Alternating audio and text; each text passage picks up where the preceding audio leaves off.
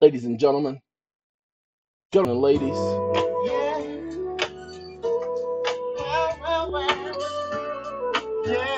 we're gonna drift a little bit, okay?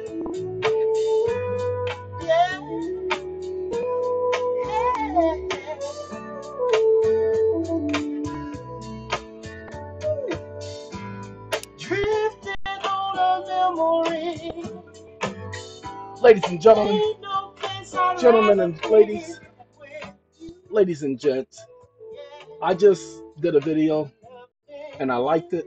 I mean, it was going so well, and then I hit the wrong button trying to put you all on pause.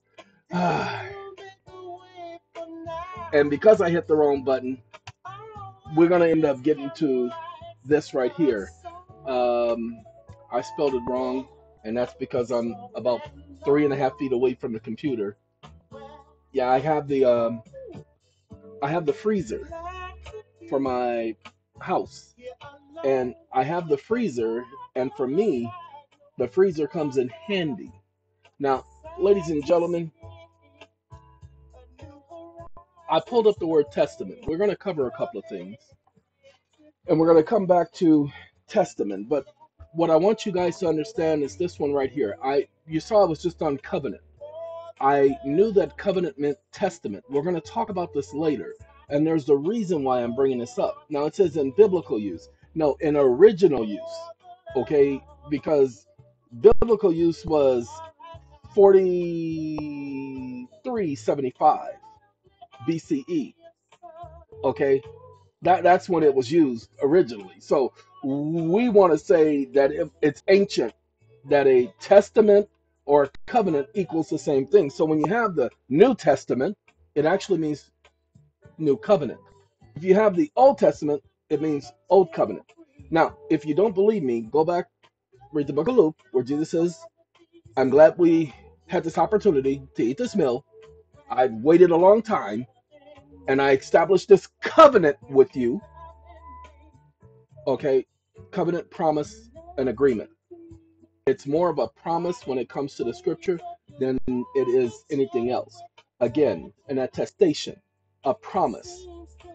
Okay, now we're gonna leave that alone for a second because we got to talk, and we got we got our boys in the background because they're drifting, and we don't want to drift too far. Okay, ladies and gentlemen, I got a little story for you. And I hope that some of you are able to hear this story and get something out of it because it's one of those stories. Um, we have two people. We're going to put my uh, brothers on pause, Isley Brothers, and we're going to move forward with the conversation. Ladies and gentlemen, this story is about a young man. We're going to call his name Robert. And Robert is married to Mary. Make it simple so to remember everybody. Although Mary is not going to have too much of a role in this story. Sorry. It is a man's world! Okay, ladies and gentlemen, Mary and Robert have just gotten married. As a matter of fact, they've been married for a full year. They have saved up their monies. They have both fixed their credit because they knew when they got married they were going to need a home and they were going to make sure that both their salaries was enough to stay in that home and that they were going to have enough monies on hand to have reserves when they purchased the home. Now, Robert has occasionally gone online doing his research because he needed to find out about mortgages and what's the best rate and how the whole process was because it's something he had never done before and here he is as being the head of the household thinking it's his responsibility to make sure that he doesn't make any mistakes because any mistakes falls on him. His conscience will not let him live otherwise.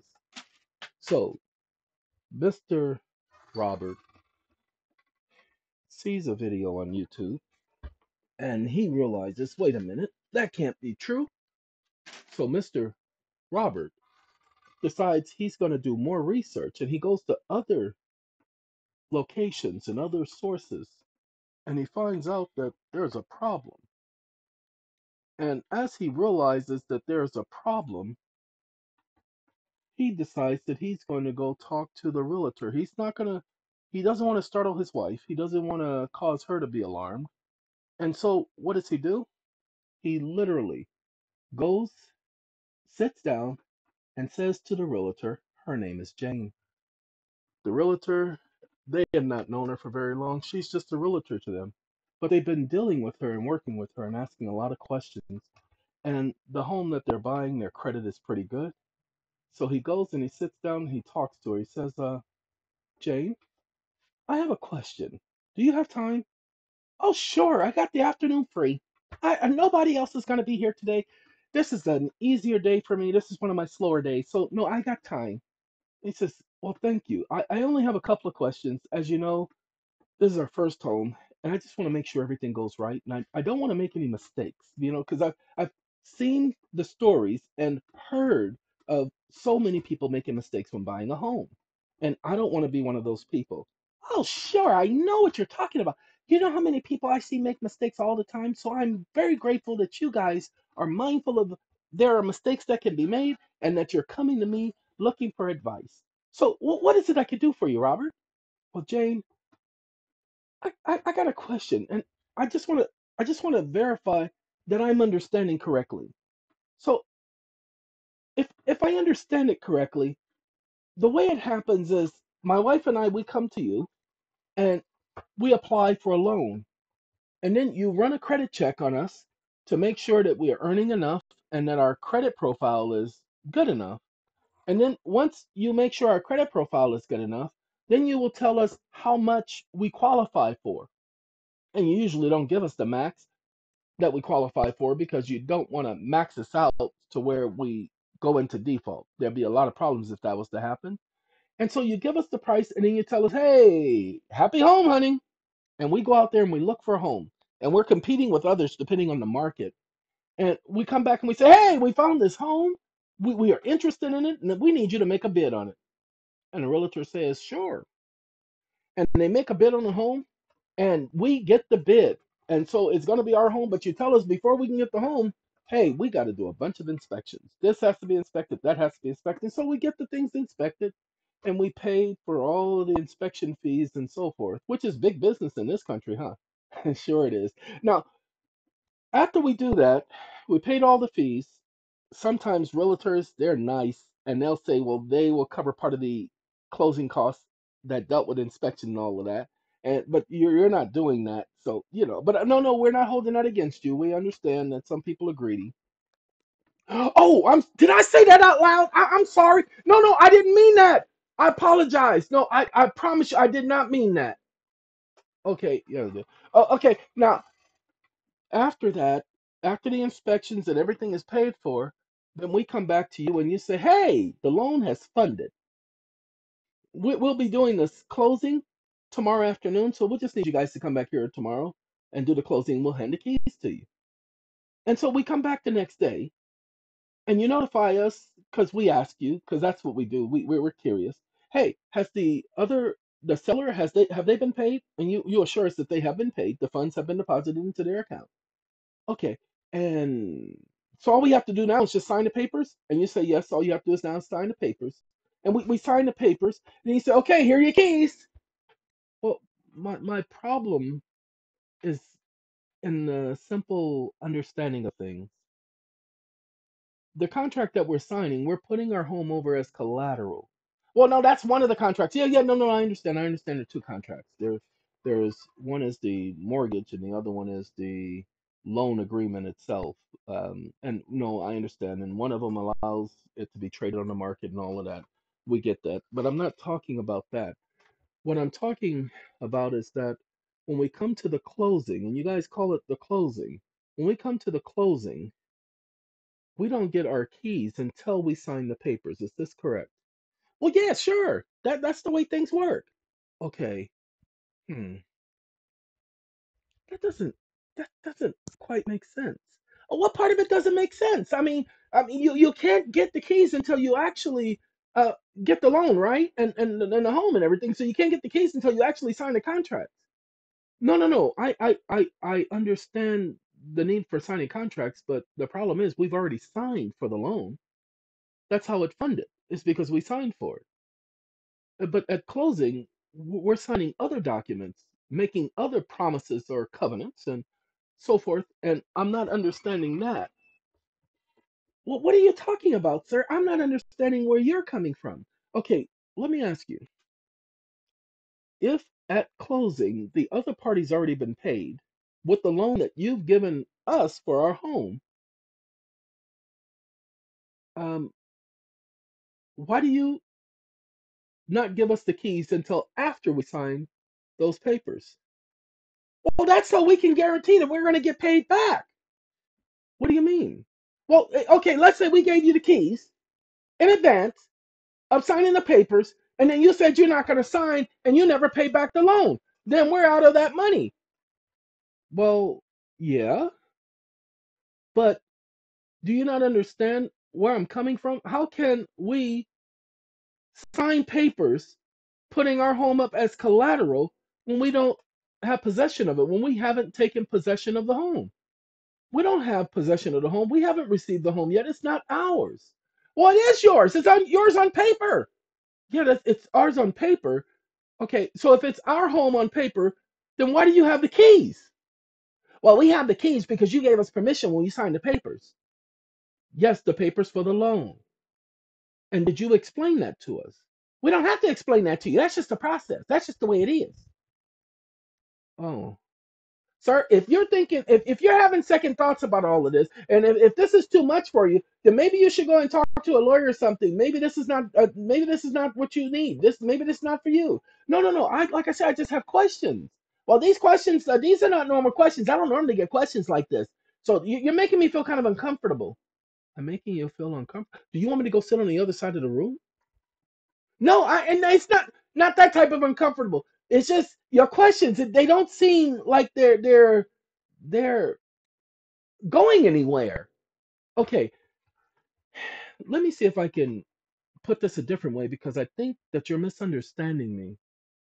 Okay, uh, in, in contract law, and I, don't- I'm not a lawyer, okay, but I understand just a little bit about contract law.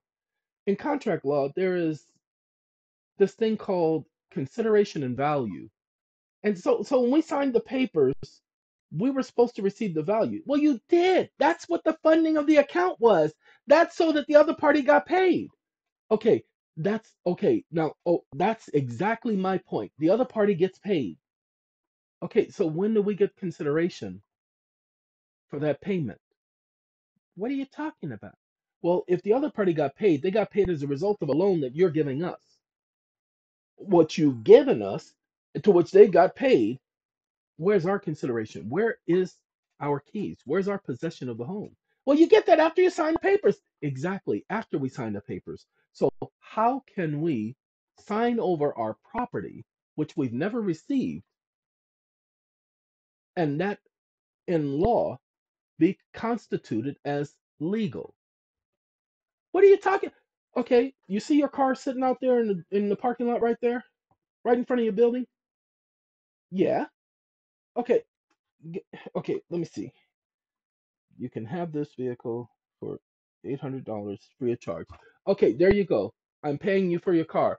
Now I'm to go and give me the keys. Sir, what are you talking about? Well, I just paid you for your car. Now just give me the keys and I'll, I'll be gone. What that does what, what are you talking about? Well, you guys are saying that if I sign some papers, I get my keys without any consideration. Okay, so fine. I'm going to do the same thing with your car. I don't have possession of your car, but I'm just going to sign some papers and I'm just going to take the car. Is that all right? And then I'll call the police and have you arrested. How could you have me arrested? Because that's stealing. Okay, so like I said, bear with me. Not being argumentative, I'm just asking a question. If you all are having us sign a paper and getting a loan for a home, and then you fund that home, pay the seller, and then you hold on to our keys and don't give them to us unless and until we sign these other papers agreeing to place our property as collateral. That's called ransoming. Is it not in law? And if that's the case, then that's illegal from the standpoint of the law. Well, no, no, no, no. It's not illegal because we do this all the time. Every every single loan is done this way. I don't even know what what what are you? Why are you? See, uh, uh, wait, hold on. Your your your question doesn't seem it, it's irrational and unreasonable. Okay, what's so unreasonable about me asking questions that's specific to my loan? I'm not asking hypotheticals. I'm asking about the process. How can you have us sign away our home before we've taken possession? If we don't have possession of it, then it's not ours. Possession is nine tenths, is the maxim. So if possession is nine tenths, how can I sign away my property if I've never taken control, never taken possession? No, because we take possession on your behalf. Well, when did you notify me that you were going to be acting on my behalf with my property? I don't remember doing that. Because once I sign those papers, oh, then you're free to do with the property whatever you want, except sell it without paying you, correct? Yeah, because that's the way it works. Okay, so then that means it's not my property. If I'm not free to do whatever I want with the property, you are free to do whatever you want. You can make improvements and you can sit up there and take out a second mortgage, but just can't sell it. You see, that limitation right there, that means it's not my property. That means it belongs to someone else. See, if I can't sell what belongs to mine, that means it's not mine. No, it's not yours because you signed it over as collateral. Yes, only because you wouldn't give me the keys unless I signed it over as collateral. No, that's not the way, that's not how it is. Of course it is. You have just told me that if I got a loan from you, you're not giving me no keys until I sign some extra papers. That I'm applying for a loan. There is no law saying I have to leave collateral. I'm applying for a loan. When I apply for a loan dealing with my credit cards, I don't have to leave corre- uh, collateral because that's all a credit card is, is them loaning money to me. So you're saying that I can't get the loan unless I sit up here and uh, sign over my life. Sir, it's not like that. It's not even that serious. Sign over your life. That metaphor don't even fit the conversation. Oh, yes, it does. Because you're saying that I have to be indebted to you for over 30 years. Of course, it means my life. That's my entire rest of my life is signing over this. And that's my happiness and everything else. Like I said, my problem is that you people are holding on to our keys and not giving it to us unless we sign some papers. Okay? That's illegal. No wonder nobody else is there, so that there are no other witnesses. You are holding on to the keys, telling us that we're not going to get the keys unless we sign some papers. And if we sign the papers, we have to agree to put our house up as collateral when that wasn't initially, pay attention, the application for the loan. Our application for a loan, we were approved without collateral. Go ahead, go back and take a look. You approved us for this loan without us putting down any collateral. And then after we agreed that you would give us the loan without any collateral, then you are forcing us to give you collateral. Okay, that seems to be illegal. And I just on it. Uh, oh, oh, look at that! I got a phone call coming in. The phone ain't rang. Oh no, no, no! It's about to ring. Trust me, it's about to ring. See, told you it was gonna ring. Okay, thank you. Hold on, I've been waiting for this call. All right, you have a good day. We'll talk again. Oh yes. Oh, I'm so busy. I'm so swamped. I have so much to do today. Wait, hold on. Oh yes. Oh, how you doing? Oh no, I have a client right here, but he's just leaving. No, no. Yeah, he had some problems or whatever, but we resolved this problem. He on his way. Okay, see you next week. Okay, bye bye. Tell your wife I said hello. All right, bye bye. Okay, yeah. What can I do for you? Oh yeah, yeah. Uh, uh, close to know. Yeah, there. Thank you. Bye bye. Okay. Oh yeah. Oh God. Okay, you just just just stay here for a second. He, he's on his way out. I'm so glad that you got my message. Oh God, th- this one was something else. He's asking me all kinds of questions. Oh no, I didn't answer them questions. You know how we supposed to do things. God I wasn't gonna ask his no, not them questions. Uh, okay. Now he's gone. I just seen him drive away. All right, no, you take care. Bye bye. Okay, bye bye. Ladies and gentlemen, this happens every day. This happens every month, every week, every hour, every year, where the banks give loans to people, tell people that their loans have funded, and then force them to place their homes as collateral for the loan. Now remember, they got the loan initially without collateral based on their credit. If you don't believe me, go take a look. Go take a look at the process you've gone through. There was no mention of you having to put up the new home as collateral because guess what they can't do? They can't make you put up something you don't own, that you don't possess, nor can they anticipate in the future your possessions and the value of your possessions. They don't have that authority. That would make it an invalid contract because you cannot promise thin air. You can always promise to pay, but you cannot promise to put up as collateral something you don't own. And at the time that they issue the loan, tell you that you qualify for the loan, qualify people without collateral, that you qualify for the loan, then how in the world do they sit up there and tell you, oh, well, it's funded and everything. The, the seller got paid, but you don't get the keys until you sign them papers right there. That's extortion, people. Now, I, I, I'm not telling any of you to go into court and say extortion. I'm telling you to understand what's been going on for decades. I've been saying this since 2012.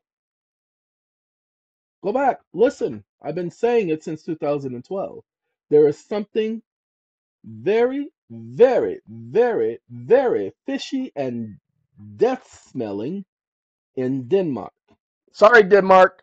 Okay, something ain't right here. How in the world, and that this is the question because it's the best question in the world.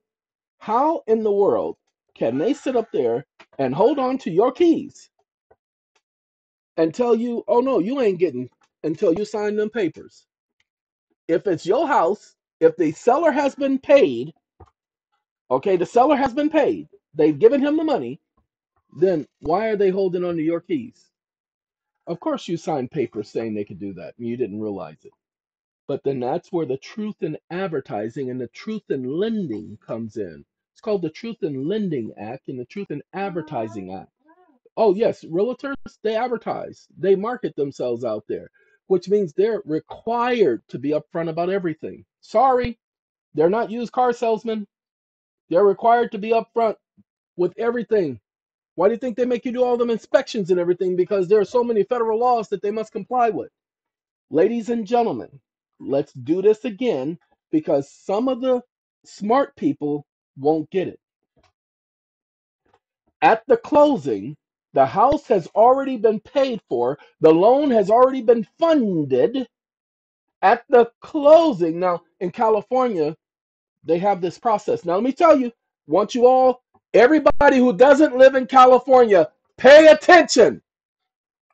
In California, to get around this logic, in California, to get around this conundrum, in California, to get around this illegal activity, they don't fund the loan until you sign the papers. Here's the problem. If they don't fund the loan until you sign the papers, then that's illegal. Why? Because you don't own the home, so you can't put it up as collateral. But they won't fund it until you sign. In other states, you sign the papers, they've already funded the loan. Do you guys see the illegality of this whole process? And this happens every day. The courts know about this, the banks know about this, and nobody's doing nothing about it. So we did the video, ladies and gentlemen, about fraud upon the court. All of you who've been foreclosed upon, go back into the court, bring up the issue of fraud upon the court and fraud upon your person. You can prove fraud because the Truth in Lending Act says that they must be upfront with you about these things. They must let you know. Then you let them know the logic behind it. Your Honor, I couldn't put up the home as collateral even if I wanted to. which means that even if they wanted to enforce that contract, they could not because it's an unenforceable contract. See, the maximum equi- equity, it's called an equitable equitable maxim. Okay, the maxim in equity is the courts cannot encourage and or sponsor and or support a wrongdoer and or wrongdoing. They don't have the ability or authority because they are courts of equity. That's the first thing. Second thing, pay attention because some of y'all ain't gonna be paying attention to this. Second thing, you have to figure out your arguments. Fraud upon the court, ladies and gentlemen, you, bringing in a motion for fraud upon the court, there are no fees. They cannot give you a fee for bringing that to the court's attention. Now, look, there is a whistleblower's statute, and I cannot tell you because I don't know which one this one is, but there is another statute that if you bring to the attention of the United States government something that shows that they have been booked and doped out of so much money, that you get a percentage. That is what the video on the young lady uh, who did the common law set off. That's what she did. There must be something that allows you to bring forth this fraud in banking before the government. Don't go into court. File your complaint with the risk management department for your state government. File your complaint with the governor's office contact the governor's office and ask them where do you go to file such a complaint and if they can't give you an answer then tell them that's impossible because this is the state government and these are banks that are licensed under the state government doing business within this state and if they are violating the law of course you must have a mechanism for me to file a complaint now some of you didn't understand what i just said you just have to understand the words you can say word for word to them they understand You have a right to make a complaint to government. They cannot stop you. That's your right, not your left, not your off, not your on. That's your right. And most of you don't know anything about exercising rights. Okay, ladies and gentlemen, how could you sign for that home? How could you put it up as collateral if you didn't own it? Like I said, when I first got started in law was with this word right here, about seven years old. And that word was being talked about in the Kingdom Hall. And they were talking about the definition and how the word translated covenant and how many of the modern Bibles use the word testament. Don't know, I can't tell you where that tradition started because it's been so long, but I do know what a covenant is and a testament. It is a legal and binding agreement. You don't believe me? Okay. Something that serves as a sign or evidence of a specific fact, event, or quality. A person's will, especially the part relating to personal property. Hold on now. In the Bible, a division of the Bible, see Old Testament and New Testament. Ah, but it also, in Bible use, biblical use, a covenant or dispensation. Ladies and gentlemen, that's what the word testament means. It means covenant. So it's the old covenant and the new covenant. Covenant is a, a promise. There was an agreement, but a promise for the most part, because the promise was if you do this, then I'll do this. It's called a performance agreement. He told the people, if you will strictly obey my voice, if you strictly obey my commandments, if you strictly obey my word, then I will not do this and none of this will happen. An act which a person determines the disposition of his or her property after death of a testament of property. That's why you'll see in some Bibles it talks about uh, in the book of Hebrews that a covenant is not established without a human testator or testator. Okay, that was the point. A covenant is not put into force without blood. Wait a minute, y'all didn't get that? No, no, y'all didn't understand that. Each covenant that you see referenced in the Bible someone's death was associated with it. That's what Paul is saying. There had to be a death. The covenant God made with the people was someone taking an animal, sacrificing it, and taking the blood and putting it on some hyssop and sprinkling it up on the people. The other covenant, it was called the Passover covenant, was that he would not destroy any of the Israelites if they sprinkled blood of the sacrificial animal, the lamb, on the doorpost of their home. There, every covenant, there had to be the death of a covenanter or a testator. Someone had to die. Blood had to be spilled. Every single covenant that you see in the Bible, I believe the Bible lists about seven covenants. Now, so that you guys will know, we got the fact that testament and covenant means the same thing. Okay? Last will and testament. That's because the people today created that. But pay attention. The most famous testament are the two parts of the Christian Bible, the Old and New. No, right here. Watch this. I love this. Definition of testament at dictionary.com. Either of the two major portions of the Bible, the Mosaic and the Old Covenant or disposition, or the Christian or New Covenant or dispensation. I said disposition, sorry, dispensation. Initial capital letter, the New Testament. Now, initial capital letter, that's interesting. I, ladies and gentlemen, I think, look, distinct from the Old Testament initial capital letter. See that right there? I think this might have something to do with the way our names are spelled. It says initial capital letter. I, I don't understand why that would be there. Well, first we're going to go to the dictionary.com. I'm sorry, this on my mind. Well, my mind, my mind's telling me yes, but my body. Sorry, got to go back to my music so I don't do that no more. Whew, it ain't letting me go nowhere. It's stuck, and it has been stuck for a minute. Okay, there we go. All right, ladies and gentlemen, the getting back to mortgages, those are contracts, ladies and gentlemen. As we said on the video yesterday, we say on this video, a contract is not enforceable if a party is unaware of what's going on. Okay, pay attention. Come on now, get right there. I like this one right down here. We're gonna start a covenant, especially between God and humans. A copy of the New Testament, initial capital letter, initial capital letter, the New Testament, initial capital letter. Ladies and gentlemen, that doesn't make sense though. Why does it say that? Okay, this is how my mind works. My mind says, "What the? What that there? What? Why? Why that there?" Okay, see it did letter, and I don't want letter. I want initial capital letter.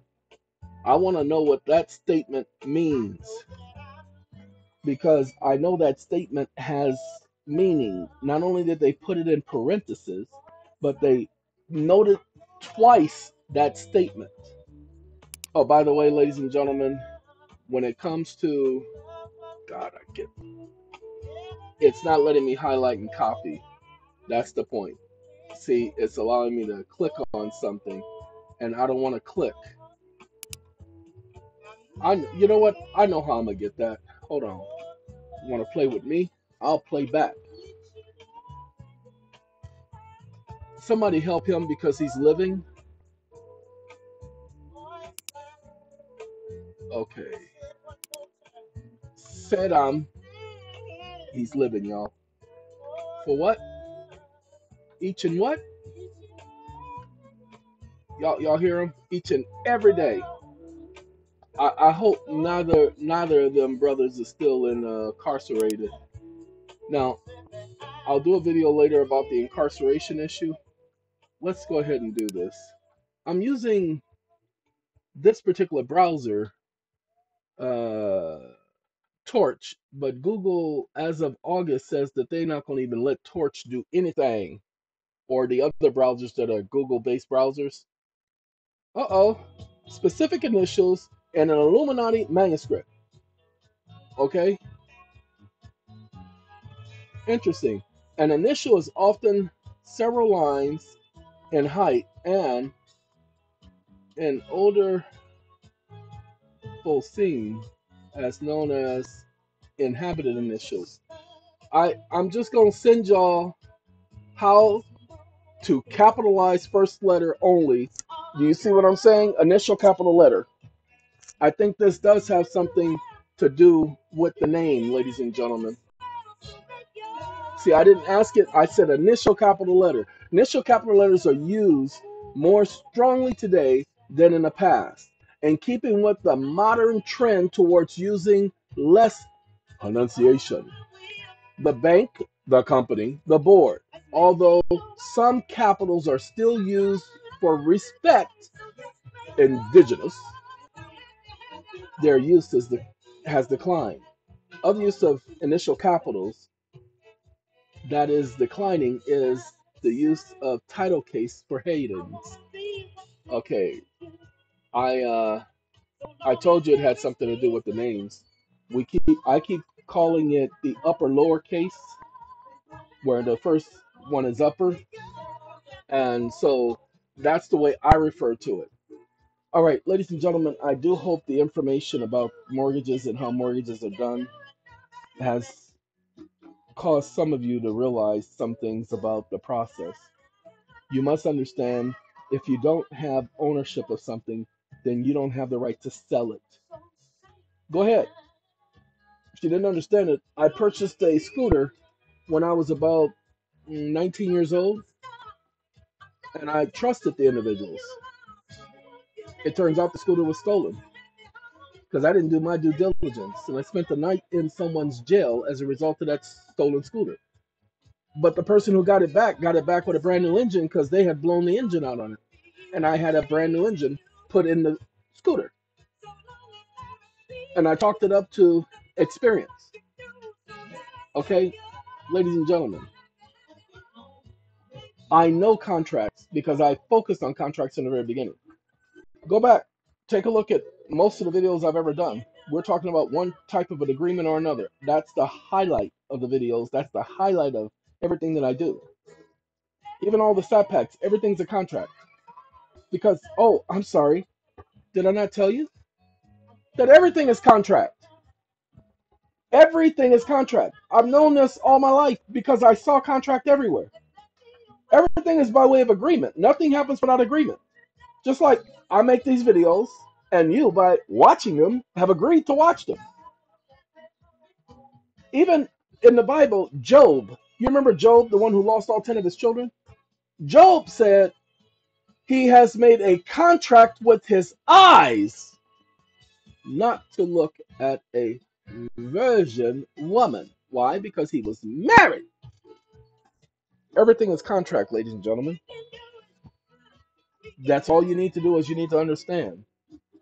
So once you understand that everything is contract, then you have to understand what a contract is and what a contract is not. Now, finally, finally, just so that you guys will understand, as we told you in the last video, this PDF section is up.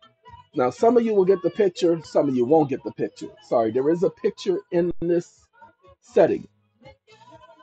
Some of you will get the picture, others will not get the picture. Get the picture? okay. The picture is not the important part. The important part is that you're able to scroll and you're able to use the search bar within the site. Uh, let's see. I just put the word earn. I don't know what's going to come up with earn. And I didn't say earn with a U. I said earn with an E. Well, look at that. Earned income credit. Information to claim earned income credit. Look at that. Already have a form up there on our website for it. Okay? I just need to let you guys know there's a ton of information up there. And if you're searching for something, I would search here, especially if it involves some type of way of getting access to something. Again, this only searches www.satcomm911.com forward slash PDFS. This, this, this, this, this, this. What is this? Satcomm911.com forward slash PDFS. This, this, this, this. Okay, you don't have to do the HTML. Watch this. HTML. I got rid of the HTML. I hit enter. Just waiting on it. Wait, hold on. Al Green? No, uh uh We ain't doing that one. I don't want to do you bring me up by the Commodores. I don't want to do on my own by Patti LaBelle. I don't want to lose your love, y'all. See, sorry, this is not. You got to do the HTML. I just realized you got to do the HTML. Dot HTML. Got to do the HTML to get to the search. Sorry, I apologize. I didn't know. Just realized it now. So now, if I realize it, you realize it, but you'll still get the same PDF section. It's just the other one has a search bar. Now this one has a search bar if you did Control F. So either way, it's the same thing. Same thing. You know what I'm saying? The one with the picture just looks a little bit more um, elegant. This one looks so plain. Okay. So, ladies and gentlemen, gentlemen, ladies, ladies and gents, we have all kind of information on here about mortgages, about contracts, and please understand. Once you understand what a contract is and who can and cannot enter into a contract and what constitutes and does not constitute a contract, then you will know that anybody who wants to claim that your contract is bogus is speaking out the side of their neck. That's why we added arbitration clause to our contract because the law says only the arbitrator gets to determine whether the contract is valid when it has a valid arbitration clause. To this day, no one has ever proven that the arbitration clause is invalid. Go ahead. Look at all the cases where the judges have said all kind of stupid things. And that's right, I said stupid things. I'm not afraid of them. I don't care about them. I don't care about their opinion. They come at me with law, not case law. Case law is not law. Case law is coleslaw. It's that that you, you you put out the side of your neck. Okay. Nobody cares about no coleslaw. Okay. So we care about the law, not statute. Statute ain't got nothing to do with this. The law has everything to do with it. So I care about the law. I don't care about case law. Case law means nothing to me as a person. Why? Because case law is some idiot's opinion. Everybody has an opinion, especially those idiots. Why do you call them idiots? Because they sit up here and act like we don't have any recourse as to what's going on, that they can do whatever they want. Ladies and gentlemen, I'm saying no. I'm saying go back in the court. Go back and do a motion fraud upon the court. Do your research about fraud upon the court. Get your redress, people. They cannot stop you from getting your redress. By the way, so far I have seen the Supreme Court looking favorably towards these arbitrations and these arbitration contracts. I've looked at a couple of cases.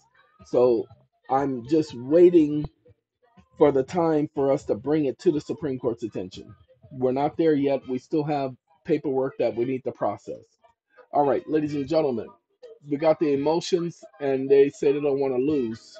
So while they're not losing, we're going to have this tornado, hurricane, and huge storm warm us and cool us down. Uh, warm and cool? Oh, lordy. It is 93 degrees right now, people. 93 degrees. Okay It doesn't feel like 93 degrees. It says that it's going to be 102 degrees. Well, I know it was 102 yesterday. I don't think it's going to get to 102 today. I don't think so. Uh, and yesterday it got to 99, even though it was 102 outside. It got to 99 only. It didn't get over 100. So uh, nearby, it got over 100, but not here where I'm living did it get to 100. There, you know, I do know that there are a couple days that we actually got to 100 and 14, 110. I do know that there were some days that that happened, but I promise you it didn't feel like it. Just like I'm waiting for the winds to start blowing. This is about a, about another 30 minutes. The winds will start kicking in, and I'm gonna enjoy my air conditioning because that's my air conditioning until I get the solar panels. Now, many of you have been asking, wondering about the solar panels. Ladies and gentlemen, all 10 of them are right here.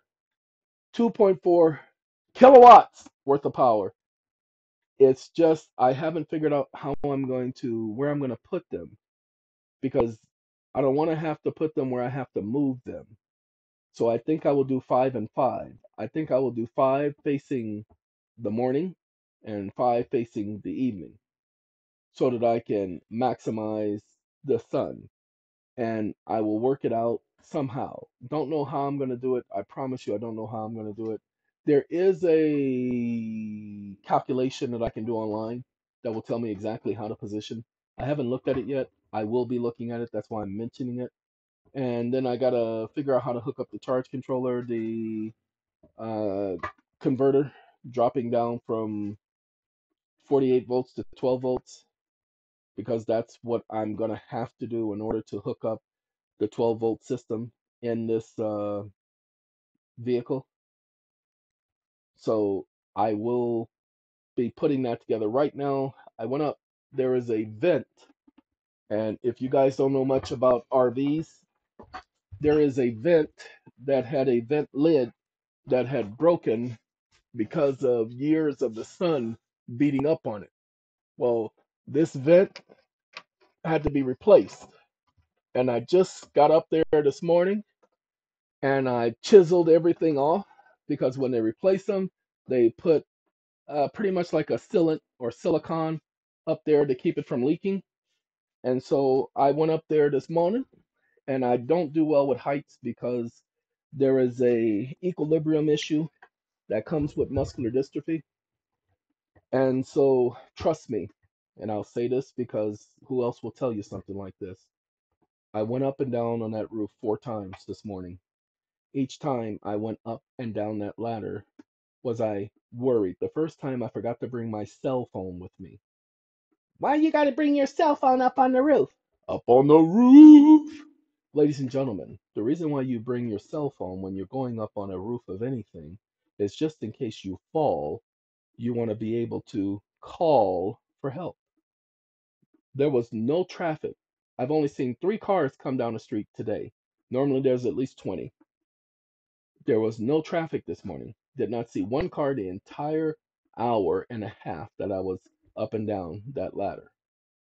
Not one car come by. So that's why you want to bring your cell phone, especially when you're over in an area where I am. So my that's my rule. My rule is safety first. So I wear slippers all the time, easier on the feet. As a matter of fact, my shoe size used to be 11 and a half. Since I stopped wearing shoes, my shoe size now is 13. Okay, hey, don't you just got to understand shoes constrict the feet. Without the constriction, the feet are allowed to grow at their normal pace. So, but I had to put on my actual shoes shoes to get up there. Why? Because no slipping, no falling. Sandals and slippers, that's why they're called slippers, people. No, no, no, no, no, no. Go on back and go on back and rethink it. Slippers are called slippers for a reason. Oh, jeepers. Okay? They're they're called that for a reason. So going up and down wasn't fun. And it was enough to have me be extremely cautious. But I had my Bluetooth speaker, the one that you guys are listening to. I had that up there with me so that I could listen to my music while I was working. Listen while you work, okay? And because I had those, hey, Marvin got a question for y'all. He, he's been wanting to ask y'all this for a while. All right, ladies and gentlemen, we're going to leave the conversation about what I was doing up on the roof and all that stuff. That's gone. Y'all have a very good day. Me and Marvin, we're going to take a little trip down memory lane. All of y'all, please understand, ever since I started doing videos this way with the Bluetooth speakers, not a single, pay attention, not a single hit by YouTube for copyright. But when I do it and show it on the computer, every single video, copyright, copyright, copyright, copyright, copyright. So you're gonna be hearing a more lot a lot more of the Bluetooth. All right, ladies and gentlemen, we're gonna escalate, okay? Because war is the answer. Gotta go. Take care of yourselves. I do hope you pay attention to the rental mortgage, that stuff, all of those agreements. I really hope you guys paid attention. All right, thank you for listening to my story, but we gotta do what we gotta do, and that's we gotta go. Bye bye. Adios, sister.